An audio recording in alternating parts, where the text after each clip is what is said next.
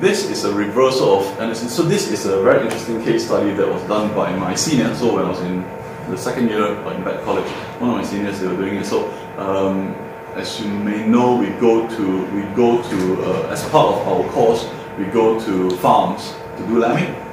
Um, and uh, one of the one of the conditions, one of the challenges we face with lambing is that sometimes the lambs they are born uh, still, they don't do too much, and you have the usual rubbing, rubbing, rubbing, trying to get all the mucus off from the nose and tap, tap, tap, and you know CPR, all this sort of thing, trying to revive the lambs again.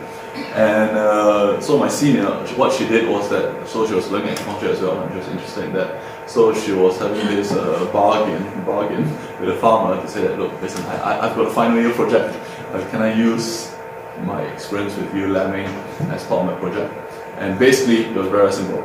When a lamb comes out that is not um, not revivable, so to speak, after you've done everything, pass them over to me, and I'll see what I can do.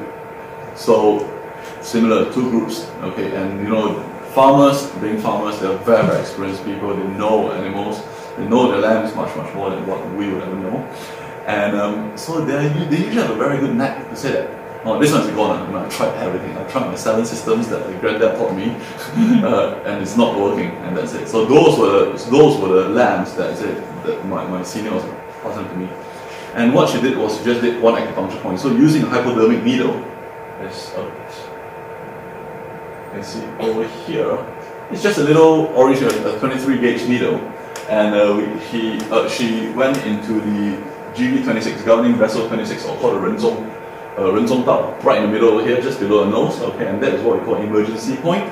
It is a very, very, very, very painful point, and it stimulates breathing, like just to take a breath. If you're ever hit over here, it is not a good point to get hit. And um, so all she did was stick the needle inside there and just twist it a little bit. And by doing that, she could revive 80% of the lambs that were condemned to be dead. And so I was like, okay, very good, cool. So I personally used this point with, in my experience, it's more so 60%.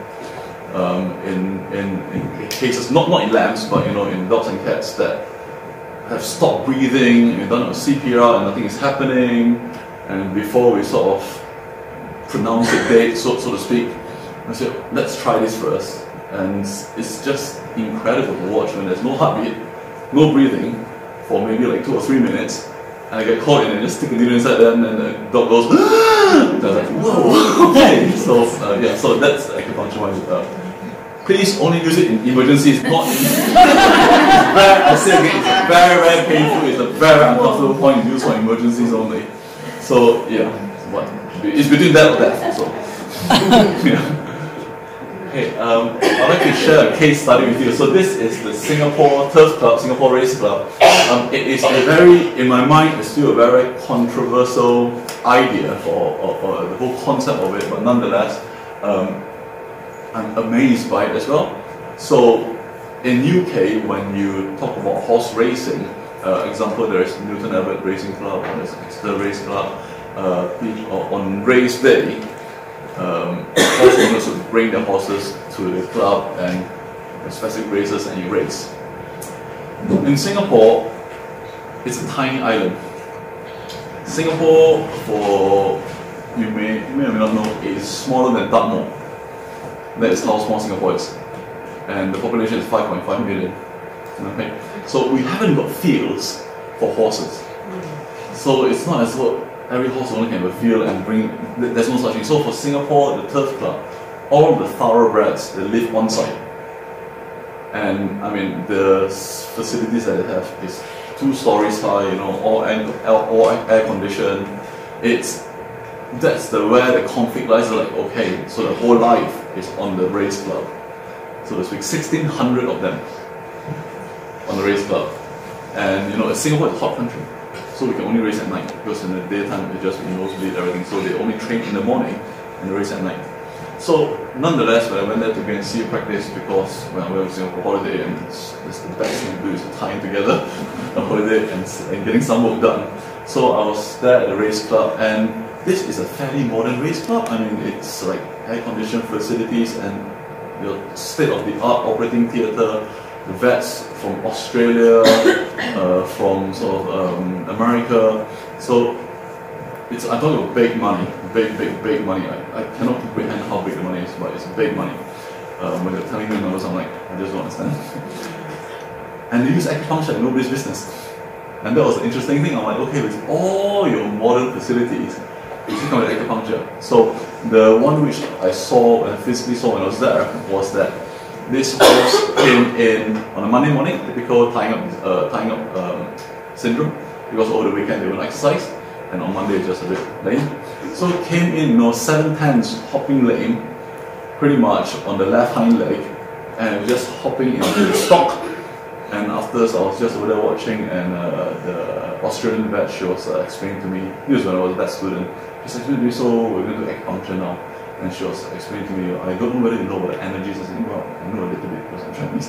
Uh, then she said that, okay, so what we're going to do is we're going to stick the acupuncture point, the first point, up on the rump.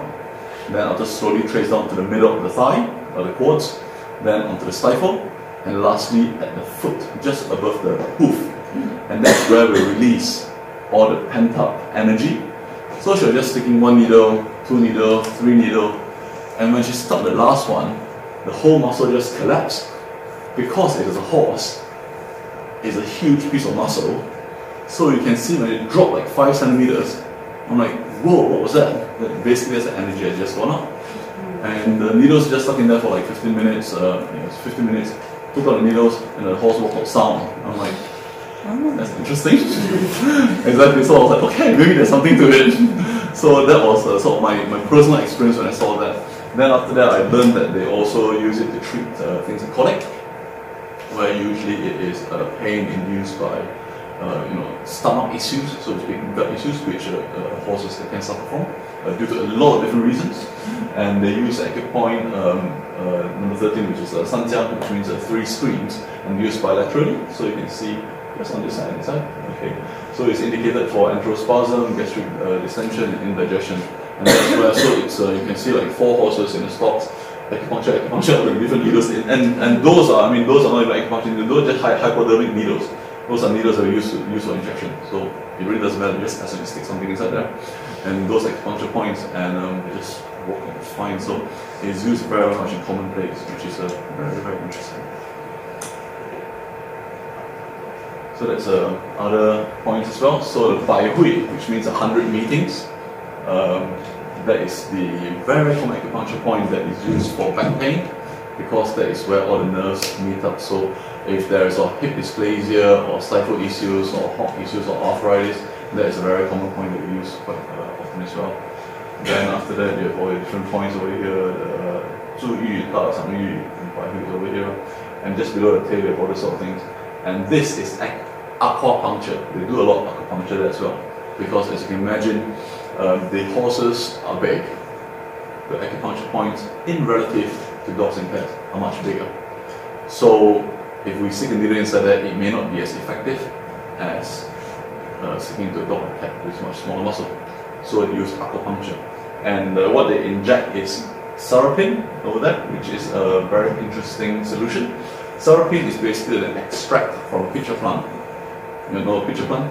Yep. So it's an extract from the liquid from pitcher plant.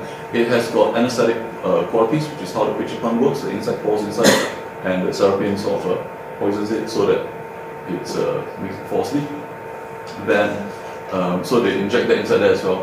The interesting thing, the reason why I say interesting, these are things that they inject in. So they inject either Sarapin, and as you can see, it is a product just for aquapuncture, uh, or they also inject a sort of a B12 vitamin.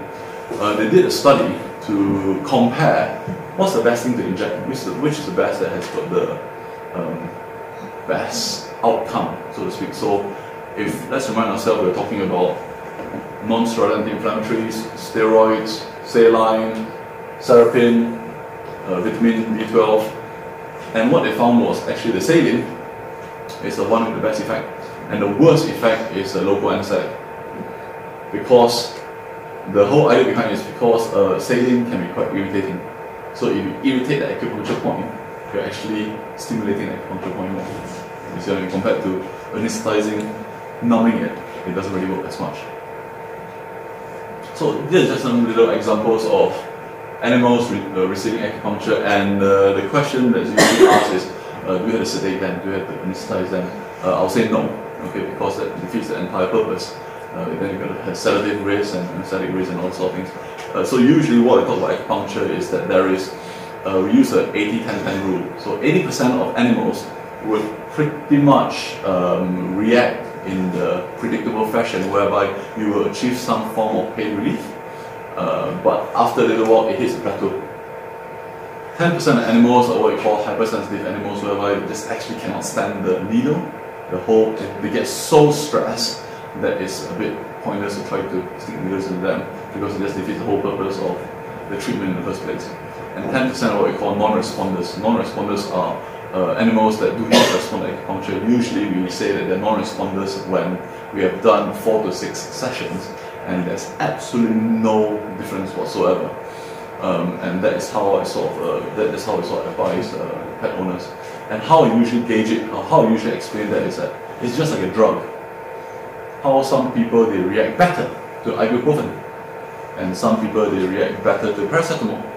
There's nothing wrong with the drug itself, so it just depends on whether it's suitable for that particular patient or not. And uh, it's, it's, the same for acupuncture. It doesn't suit everybody. but um, for those that suit, you know, you do get that sort of effect. That's quite, uh, that, that's quite um, predictable. So usually the course would be, the initial course would be four weeks and uh, once every week. Usually, usually by the third session, we sort of know whether it's going to be a responding well or not. So we don't have to wait till six. Yeah, and, and after the first four weeks, then after that we will break for about a month. Then if it's still fairly okay, i.e. the animal is still doing what it's supposed to do and it's not limping, it's not it appears to be very happy, then we'll push it even longer, five weeks, six weeks, sometimes even two months. So uh, for a top-up session, so to speak. And what we find is usually the sort of sweet spot is every six weeks. Um, and uh, in the definition of improvement, we have to manage expectations because we have to know the difference between okay, if your dog is lame because uh, of anatomy issues, like hip dysplasia, the lameness may be permanent. acupuncture isn't going to solve that. But the question is, is acupuncture providing pain relief? So when some owners they say that my dog is still limping but it's happier, he wants to play more, he's sleeping less, he's still hopping around, but he wants so I would say that that is probably a positive um, outcome of acupuncture as well because the the dog not being uh, sound, it's not really a pain problem, it's more an anatomy problem. It's just like someone with one, one long leg and one short leg, you'll always be um, sort of uh, limping a little bit, but the question is, are you in pain? So we always look at the sort of happiness level of the dog see whether they're in pain. So that, that is just to, to, to uh, let you guys understand the expectations. So in summary, you know, the concepts are essentially different from Western medicine to treat the same diseases. And, um, and what we must really know is that in China, acupuncture is the standard. That is normal conventional medicine. The alternative medicine is when you start giving drugs. so, you know, that's, and people in China, they are also people with the same anatomy, and their conditions and diseases are treated with acupuncture and, you know, herbs and things like that. And a dog in China will have the same anatomy as a dog in UK. So when their conventional medicine is acupuncture and traditional Chinese medicine with herbs and body and lifestyle, um, and their alternative is, oh, it's not working, let's go and try some drugs. Rather than in over here is, let's try the drugs, it's not working, let's go and try acupuncture. So it is a very interesting conceptual difference, and that is what fascinates me the most. It's all the same body. How can there be so many different ways of treating it? rephrase, how can there not be so many different ways of treating it? And uh, it's a primary form of uh, treatment in China for thousands of years is that they use a very holistic approach and it's shown to be effective in many, uh, in many patients, in many conditions, and certainly needs expertise to be effective. Uh, so there is what we call sham, sham acupuncture points as well, whereby uh, the idea is that, okay, you're sticking needles into so-called random places. If I stick needles in the random places, will it get the same effect anyway? And uh, the reality is, you know, uh, sticking sham acupuncture doesn't produce the outcome of proper acupuncture uh, as it works, so I just want to leave you with the absence of proof. It's not proof Wow.